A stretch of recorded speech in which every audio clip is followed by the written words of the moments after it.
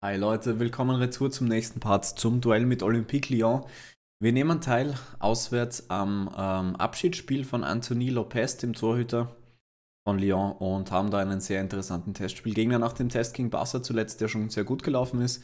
Treffen wir also jetzt auf den nächsten potenziellen Champions League-Gegner. Zumindest von der Klasse her könnten sie Champions League spielen. Schauen wir, ob sie sich auch qualifiziert haben. Ja, haben sie. Wurden in der Liga nur Dritter, aber da gibt es schon lange kein Vorbeikommen an PSG mehr. Da haben sie an irgendein Megatalent, ein 16-jähriges, den werden wir gleich scouten. Ein paar Vereine an einer Leihe interessiert, der ist ja richtig stark. So. Vorab noch, der Platzwart erkundigt sich nach Änderungen. Ich würde sagen, dass wir es möglichst breit machen werden.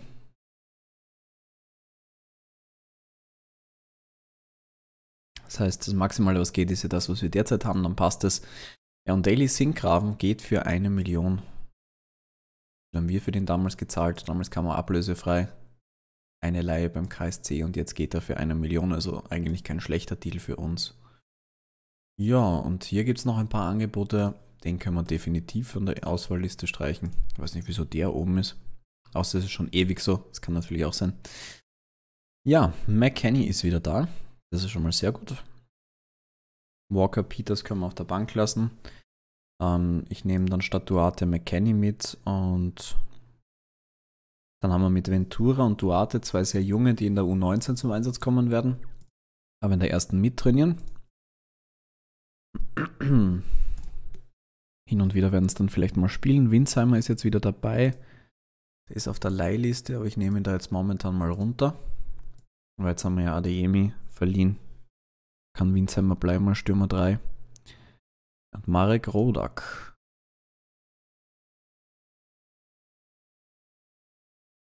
Da würde ich mir eigentlich ganz gern das Gehalt, diese 900.000 irgendwie sparen. Finde ihn als Torhüter ja eigentlich sehr interessant und sehr gut. Was verdient im Vergleich Daniel Antausch? Nur 285.000, also ein Drittel. Das reicht mir eigentlich als dritter Keeper. Knöchelbruch zwei Wochen heißt, der ist bald wieder da. Dann hilft es nichts, wenn wir Rodak tatsächlich halt mal anbieten, auch auf der Transferliste. Schauen wir, ob er geht. Und sonst können wir versuchen, ihn zu einem Partnerverein zu verschieben. Gut. Ähm, ich will gerade, ob ich McKenny gleich reingebe. Spricht aber, glaube ich, nichts dagegen. Die haben ja auch eine ganz gute Connection miteinander. Ja. So werden wir es angehen. Auswärts gegen Lyon. Die mich auch für ein Let's Play immer wieder reizen, muss ich echt sagen. Ich hoffe, dass ich die irgendwann mal noch trainiere. Vielleicht wird es ja im zweiten Let's Play was. Da müssen wir uns aber sehr, sehr weit nach oben arbeiten, dass das noch was wird. Auch schön wäre es auf jeden Fall.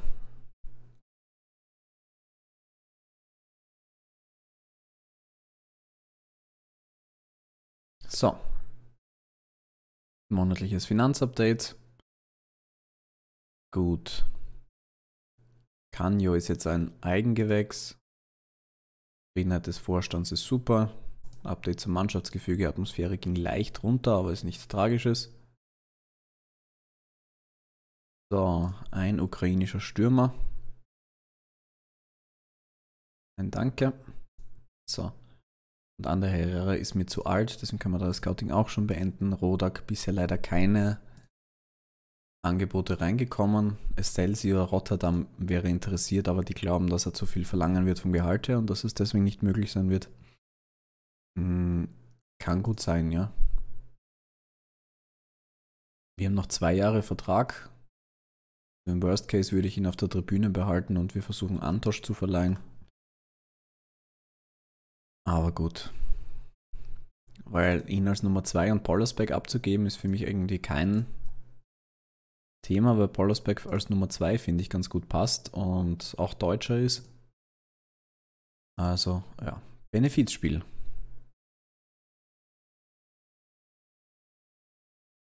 Jetzt geht's also los.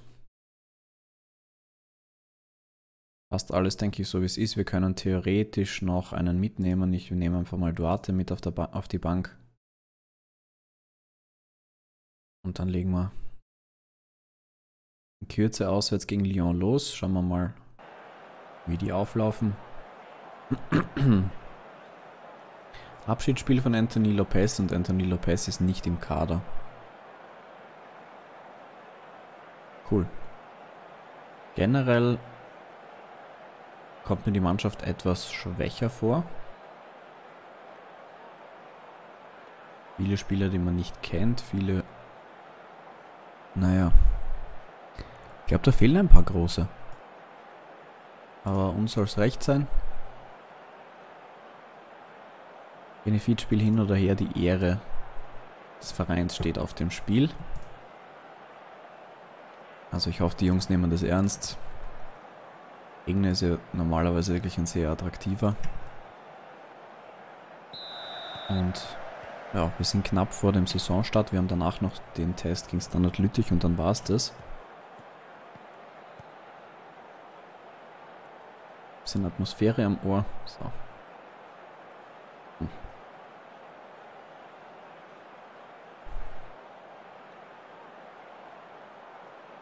Also bisher erste Chance für Lyon.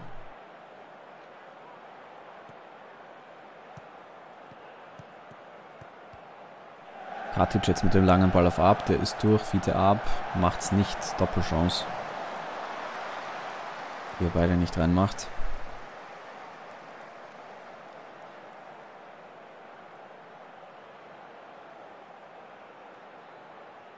Otavio mit der Ecke, Lukas Silva klärt. Kovalenko wird auch geblockt. Ja, der war gefährlich.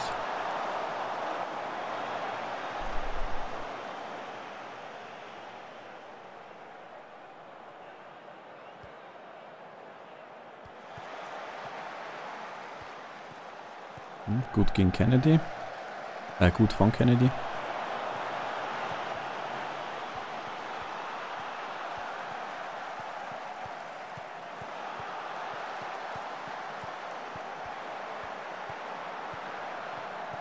Schön von Oedegaard, Wagnermann. Nochmal die Chance. Boah, gute Parade.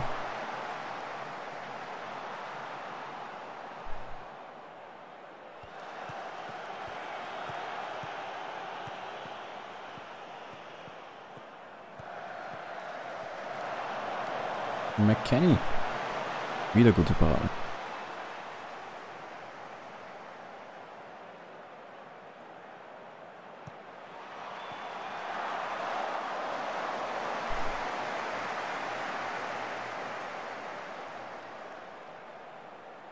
So, fordern wir sie zu mehr Kreativität auf. Das beflügelt sie, so wie es aussieht.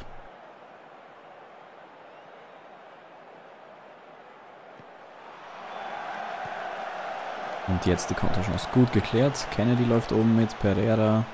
Ab ist noch vorne. Boah, Ab setzt sich gut durch, aber vergibt.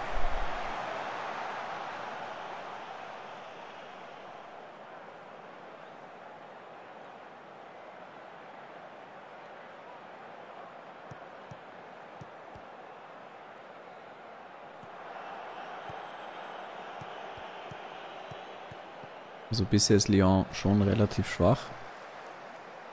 Oedegaard rechts raus, Wagnermann. Pereira an dem Pfosten Oedegaard. Wollt, na nicht die Ecke raus, schade. Aber wie war denn der angeschnitten? Ich dachte, der geht zwei Meter daneben und plötzlich dreht er sich so rein.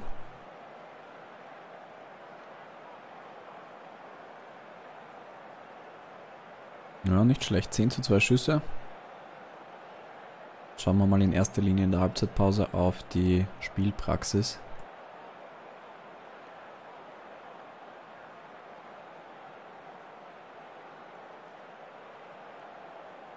So. Also wir sehen, McKenny hat 100%, wir sehen hier haben einige über 90, also eigentlich kann ich bis auf Oedegaard theoretisch alle wechseln. Ich kann aber auch sogar Oedegaard wechseln, weil wir eh genug Spieler auf diesen Positionen haben. Das heißt, wir werden komplett durchwechseln.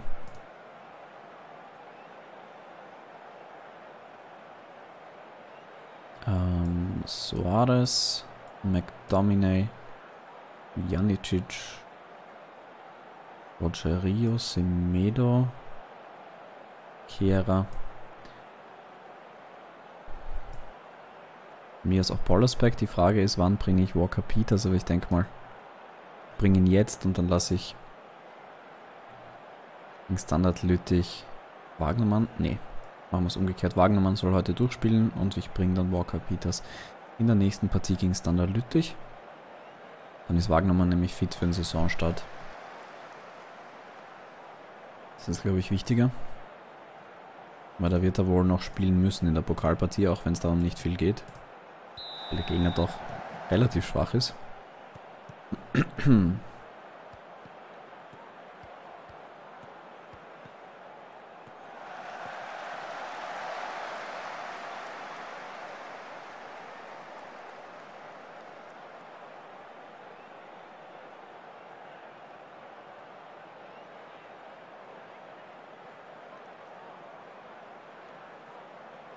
So, Doppel, Doppelwechsel bei Lyon. Hat McDominay was abgekriegt, Schnittwunde am Oberschenkel. Weil es hier eh um nicht viel geht, bringen wir gleich Duarte. Passt schon so direkt eigentlich so. Und es gibt eine Ecke.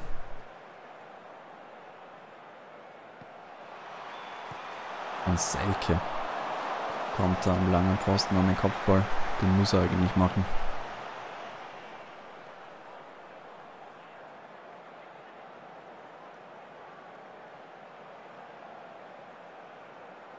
Die nächsten Wechsel bei Lyon.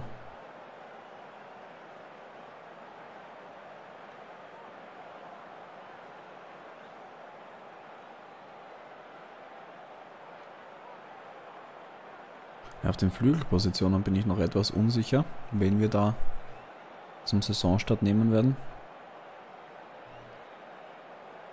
So richtig rauskristallisiert hat sich da in meinen Augen niemand so hundertprozentig.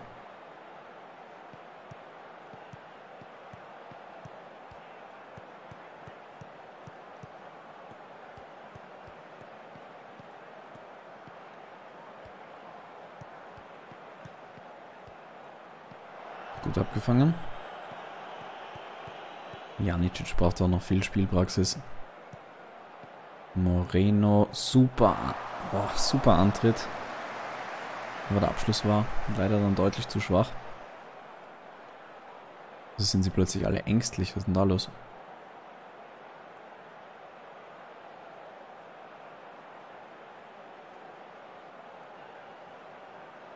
Der Moreno gerade die gelbe? Scheint so.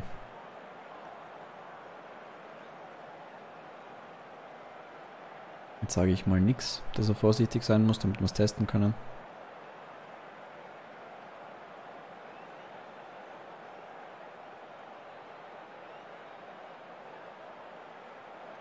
Ja, plötzlich hat Lyon deutlich mehr vom Spiel, zumindest vom Ballbesitz her. Ging es jetzt ziemlich rauf die letzten Minuten. Aber wirklich eine Torchance gelingt ihnen auch nicht.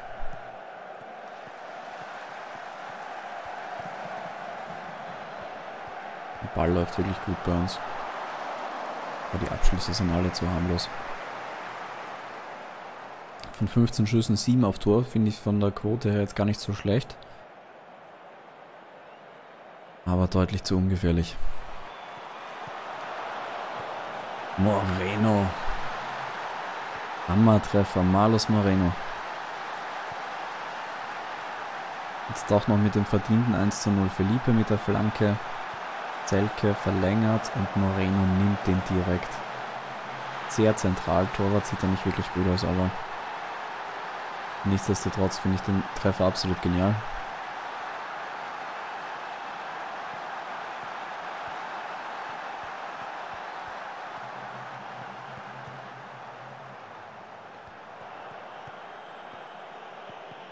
Hm, schön gelöst. Bacherball vom Liebe.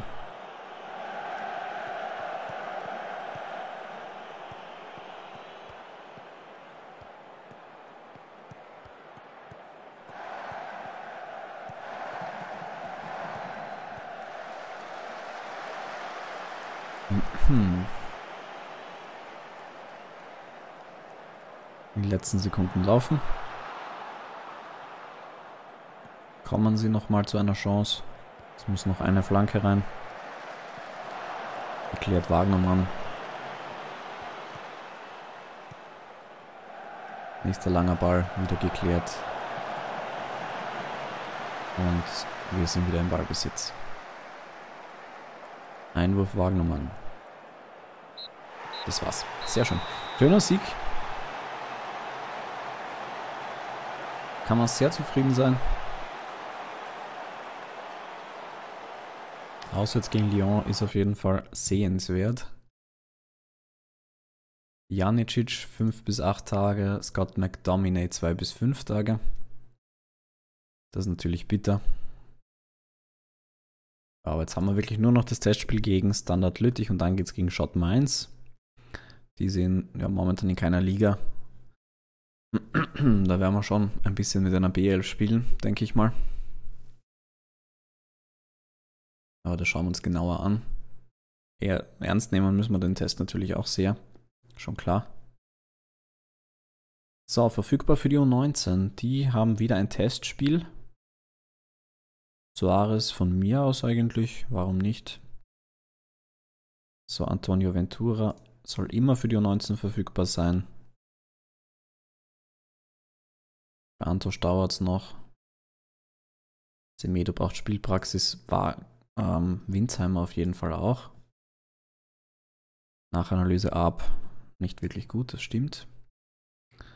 Crystal Palace will Leipzig, äh, von Leipzig Konrad Leimer ausleihen, können uns natürlich. Steigen wir nicht mit ein. Ja, PSG hat jetzt Lutgens verpflichtet, Marktwert 20 Millionen. Die mir vielleicht auch nicht durch die Lappen gehen lassen wollen, aber bei PSG kannst du wahrscheinlich auch nicht mithalten.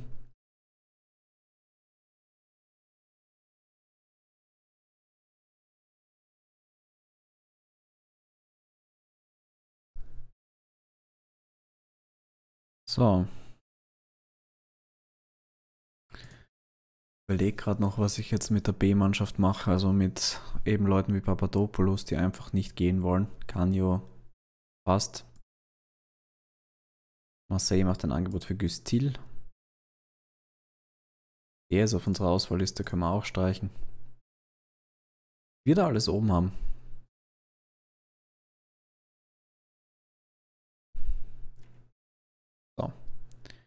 Schaut mit unseren Leihspielern bisher aus? Spielen da schon welche?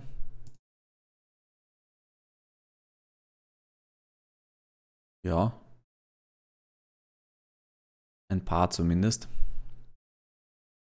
Gabriel noch bis zu fünf Wochen verletzt. Vertrag läuft dann aber auch erst nächstes Jahr aus. 30.06.2020, äh 2022.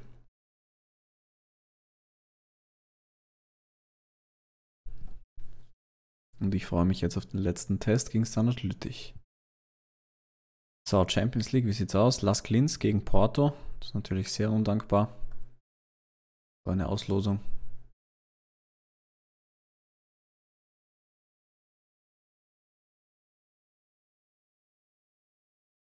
So. Taui. Momentan bei uns unter Vertrag. Heißt Düsseldorf äh, Duisburg interessiert an einer Leihe, den kann man natürlich verleihen. Hat es ganz gut getroffen. Schauen wir, ob da ein Angebot kommt. Eins so. Überall Rotation.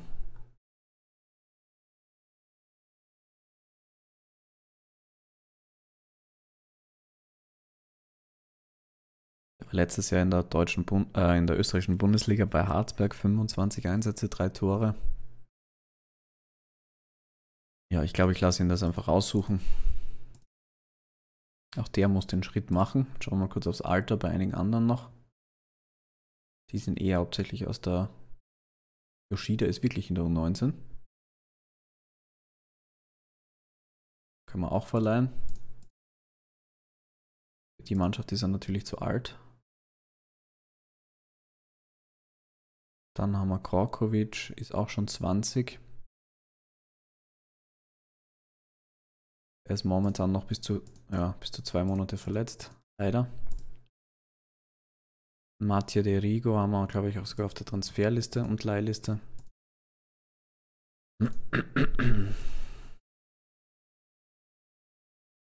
Von mir aus um 0 Euro mit 30% des nächsten Verkaufs. So, dann haben wir noch Windhager, das sind dann schon die jüngeren. Aber in Windhager, da ist Aue dran. Er wird nicht wirklich das Zeug haben, dass aus ihm irgendwas wird. Deswegen gehen wir den ab und dann werden schon interessante Spieler hier kommen. Die sind alle bei der U19 und können auch wirklich alle bei der U19 spielen. Also das ist schon relativ in Ordnung.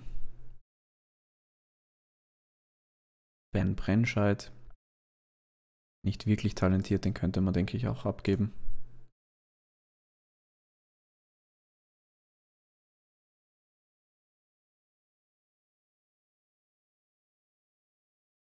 So. Dann ist die U19 auch ein bisschen aufgeräumt. Yoshida. Auch überall Rotation drin, leider.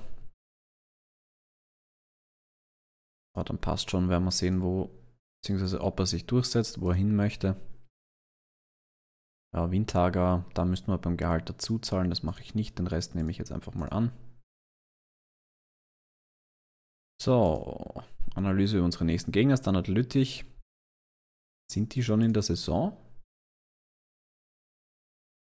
Ja, die sind schon in der Champions League Quali.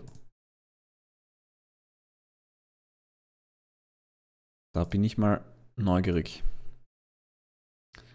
Das wird natürlich jetzt für sie auch nicht so unanstrengend. Jetzt haben sie Champions League gespielt, am Mittwoch ist das Rückspiel. Jetzt müssen sie nach Hamburg reisen für diesen Test. Müssen wir sie fast ein bisschen schonen? Nein. Aber ich finde generell die Tests, gerade jetzt gegen Ende, waren sehr interessant von den Namen her. Jetzt gegen Lüttich auch noch gut abschneiden, dann war ja echt alles perfekt. Dann werden wir noch im DFB-Pokal vielleicht ein bisschen was testen. Ein paar Positionen, bei denen ich mir unsicher bin, da werden wir noch was probieren. So, Rocic Scouting beendet. Das war der von Andy Gorica, der eigentlich relativ gut ist.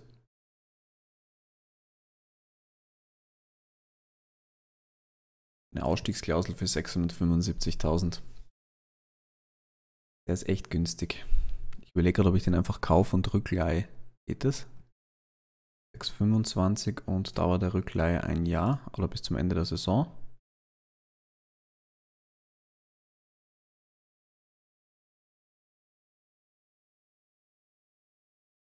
Aber wenn der so günstig ist und jetzt schon relativ stark, dann können wir den einfach kaufen und vielleicht dann wieder verkaufen, um einfach ein bisschen Geld zu machen. So wenig wie der kostet, möchte mir das Schnäppchen nicht entgehen lassen. Mario Pasalic, 15 Millionen. Sehr stark, aber natürlich passt das von, ähm, von der Position her nicht wirklich rein. Yankto bin ich auch ganz gut, brauchen wir aber von der Position her auch gar nicht. Philipp Ox Scouting beendet. Ja, Interessantesten ist anscheinend Renato Alves von Boavista 2. Geschätzter Preis 4000. Was ist denn da los? Wenn der wirklich so gut ist?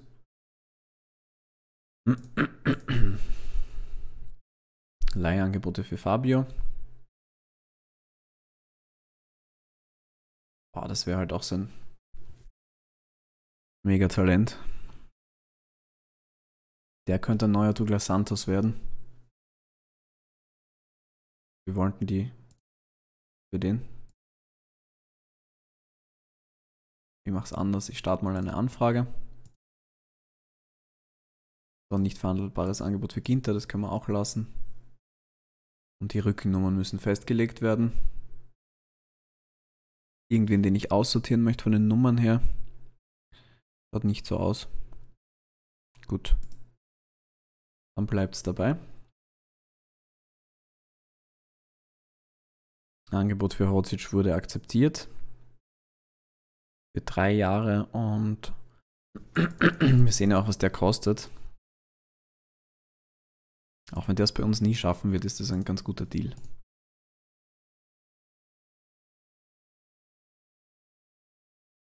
Wer ist das?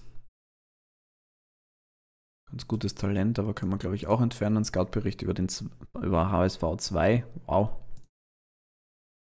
Wettquoten auf Torschützenkönig. Ab nur auf der 3. Rick van Drongelen, Entschuldigung, trainiert wieder schlecht. Dem reden wir gleich bestimmt. So, und dann werden wir jetzt noch aufstellen für den Test gegen Lüttich. Ich glaube, von der Spielpraxis her, es müsste jetzt echt schon bei so ziemlich allen passen. Also wir können in der Hälfte dann durchwechseln.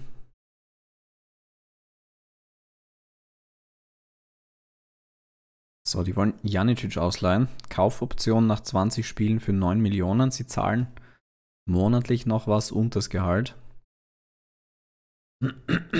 Das ist halt ein sehr guter Deal, eigentlich für uns. Weil ich versuche jetzt die Kaufoption raufzuhandeln auf, auf 12. Weil ich muss ihn ja nicht unbedingt abgeben, das haben sie abgelehnt. Ich verliere gerade echt meine Stimme. So viel habe ich noch gar nicht aufgenommen heute. So. Zur Aufstellung. Also wir sehen, Janicic ist kritisch. Was sagt die medizinische Abteilung? Suarez, Erschöpfung nach Spiel. Antosch Walker Peters ist kritisch. McDominay, Janicic, Roger Rio, Winsheimer. Ja, das ist bei vielen hier einfach kritisch.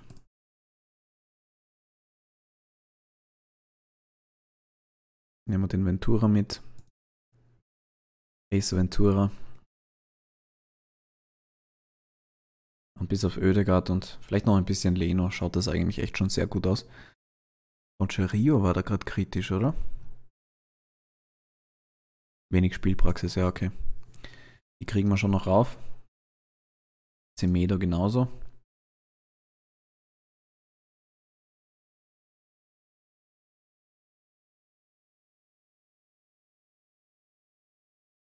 Ich überlege gerade, ob ich die einfach beide jetzt spielen lasse in der Partie. Machen wir so, lass mal die B-Innenverteidigung spielen. Und links hinten Roger Rio. Vielen Dank fürs Einschalten, liebe Leute. Im nächsten Part machen wir dann den letzten Test gegen Standard Lüttich.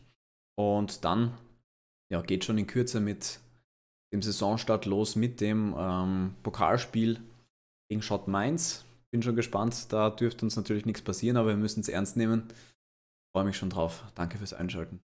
Wir sehen uns.